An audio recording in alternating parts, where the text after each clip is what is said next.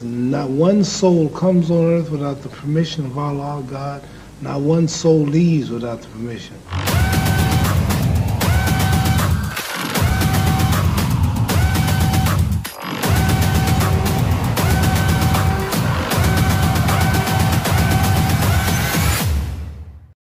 Muhammad Ali born Cassius Marcellus Clay Jr. January 17, 1942 to June 3, 2016 was an American professional boxer and activist.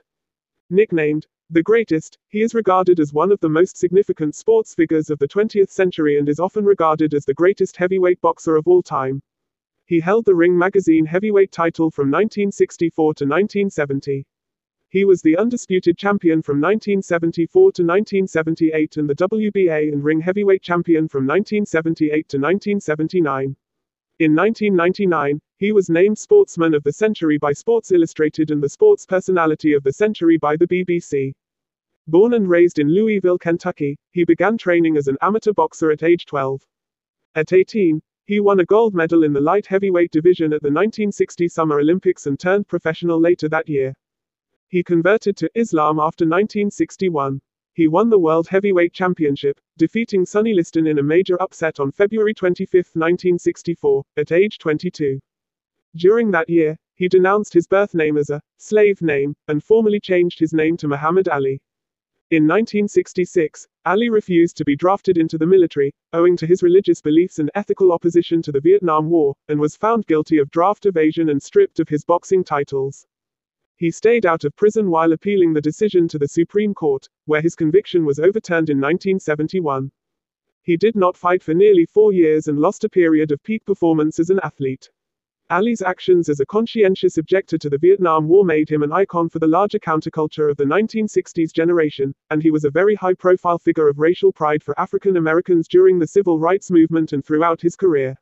As a Muslim, Ali was initially affiliated with Elijah Muhammad's Nation of Islam. He later disavowed the NOI, adhering to Sunni Islam. He fought in several historic boxing matches, including his highly publicized fights with Sonny Liston, Joe Frazier, including the fight of the century, the biggest boxing event up until then, the thriller in Manila, and his fight with George Foreman in the Rumble in the Jungle. Ali thrived in the spotlight at a time when many boxers let their managers do the talking, and he became renowned for his provocative and outlandish persona. He was famous for trash talking, often freestyled with rhyme schemes and spoken word poetry, and has been recognized as a pioneer in hip hop. He often predicted in which round he would knock out his opponent. As a boxer, Ali was known for his unorthodox movement, fancy footwork, head movement, and rope a dope technique, among others. Outside boxing, Ali attained success as a spoken word artist, releasing two studio albums, I Am the Greatest. 1963, and The Adventures of Ali and His Gang vs. Mr. Tooth Decay, 1976. Both albums received Grammy Award nominations. He also featured as an actor and writer, releasing two autobiographies. Ali retired from boxing in 1981 and focused on religion, philanthropy, and activism. In 1984, he made public his diagnosis of Parkinson's syndrome, which some reports attributed to boxing related injuries, though he and his specialist physicians disputed this. He remained an active public figure globally, but in his later years made fewer public appearances as his condition worsened, and he was cared for by his family. Cassius Marcellus Clay Jr. was born on January 17, 1942, in Louisville, Kentucky. He had one brother. He was named after his father, Cassius Marcellus Clay Sr. 1912-1990, who had a sister and four brothers and who himself was named in honor of the 19th-century Republican politician and staunch abolitionist Cassius Marcellus Clay, also from the state of Kentucky. Clay's father's paternal grandparents were John Clay and Sally Ann Clay. Clay's sister Eva claimed that Sally was a native of Madagascar. He was a descendant of slaves of the antebellum South, and was predominantly of African descent, with Irish and English family heritage. His maternal great-grandfather, Abe Grady, emigrated from Ennis, County Clare, Ireland. DNA testing performed in 2018 showed that, through his paternal grandmother, Clay was a descendant of the former slave Archer Alexander, who had been chosen from the building crew as the model of a freedman for the Emancipation Memorial, and was the subject of abolitionist William Greenleaf Eliot's book, The Story of Archer Alexander, From Slavery to Freedom. His father was a sign and billboard painter, and his mother, Odessa O'Grady Clay, 1917-1994, was a domestic helper. Although Cassius Sr. was a Methodist, he allowed Odessa to bring up both Cassius Jr. and his younger brother, Rudolph, Rudy, Clay later renamed Raymond Ali, as Baptists. Cassius Jr. attended Central High School in Louisville. He was dyslexic, which led to difficulties in reading and writing, at school and for much of his life. He grew up amid racial segregation. His mother recalled one occasion when he was denied a drink of water at a store, they wouldn't give him one because of his color. That really affected him. He was also strongly affected by the 1955 murder of Emmett Till, which led to young Clay and a friend taking out their frustration by vandalizing a local rail yard. He once told his daughter Hannah, Nothing would ever shake me up more than the story of Emmett Till. Clay was first directed toward boxing by Louisville police officer and boxing coach Joe E. Martin, who encountered the 12 year old fuming over a thief having taken his bicycle. He told the officer he was going to whop the thief. The officer told Clay he had better learn how to box first. Initially, Clay did not take up Martin's offer, but after seeing amateur boxers on a local television boxing program called Tomorrow's Champions, Clay was interested in the prospect of fighting. He then began to work with trainer Fred Stoner, whom he credits with giving him the real training, eventually molding my style, my stamina, and my system. For the last four years of Clay's amateur career, he was trained by boxing cutman Chuck Bodak. Clay made his amateur boxing debut in 1954 against local amateur boxer Ronnie O'Keefe. He won by split decision.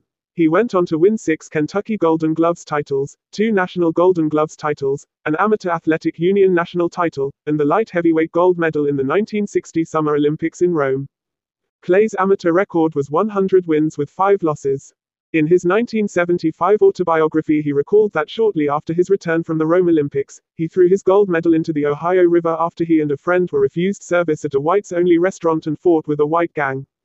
The story was later disputed, and several of his friends, including Bundini Brown and photographer Howard Bingham, denied it. Brown told Sports Illustrated writer Mark Kram, Honkies sure bought into that one. Thomas Hauser's biography of Ali stated that Ali was refused service at the diner but that he lost his medal a year after he won it. Ali received a replacement medal at the Georgia Dome during the 1996 Olympics in Atlanta, where he lit the torch to start the Games.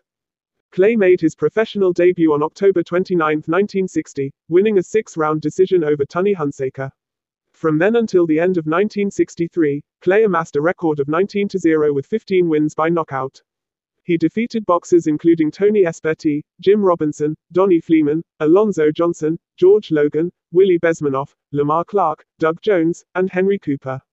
Clay also beat his former trainer and veteran boxer Archie Moore in a 1962 match. These early fights were not without trials. Clay was knocked down by both Sonny Banks and Cooper. In the Cooper fight, Clay was floored by a left hook at the end of round four and was saved by the bell, going on to win in the predicted fifth round due to Cooper's severely cut eye. The fight with Doug Jones on March 13, 1963, was Clay's toughest fight during this stretch. The number two and three heavyweight contenders respectively, Clay and Jones fought on Jones' home turf at New York's Madison Square Garden.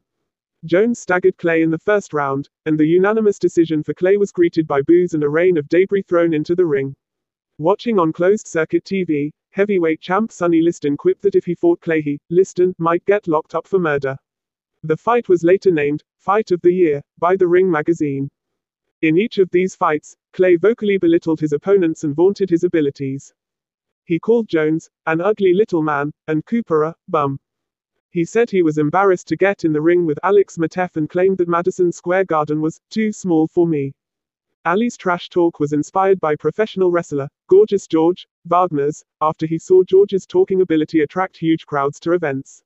In a 1969 interview, he stated that he met with George in Las Vegas in 1961, that George told him that talking a big game would earn paying fans who either wanted to see him win or wanted to see him lose, thus, Clay transformed himself into a self described big mouth and a bragger.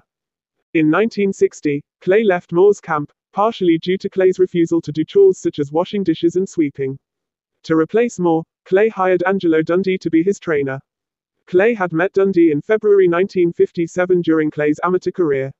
Around this time, Clay sought longtime idol Sugar Ray Robinson to be his manager, but was rebuffed. Ali defended his title against former heavyweight champion Floyd Patterson on November 22, 1965. Before the match, Ali mocked Patterson, who was widely known to call him by his former name Cassius Clay, as an Uncle Tom, calling him the Rabbit. Although Ali had the better of Patterson, who appeared injured during the fight, the match lasted 12 rounds before being called on a technical knockout. Patterson later said he had strained his sacroiliac. Ali was criticized in the sports media for appearing to have toyed with Patterson during the fight. Patterson biographer W. K. Stratton claims that the conflict between Ali and Patterson was not genuine but was staged to increase ticket sales and the closed circuit viewing audience, with both men complicit in the theatrics. Stratton also cites an interview by Howard Cosell in which Ali explained that rather than toying with Patterson, he refrained from knocking him out after it became apparent Patterson was injured.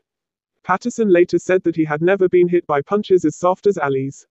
Stratton states that Ali arranged the second fight, in 1972, with the financially struggling Patterson to help the former champion earn enough money to pay a debt to the IRS.